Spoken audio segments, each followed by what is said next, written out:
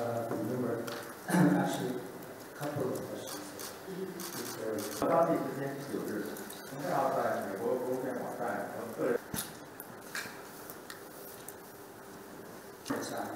And China's other national leaders have been advancing developing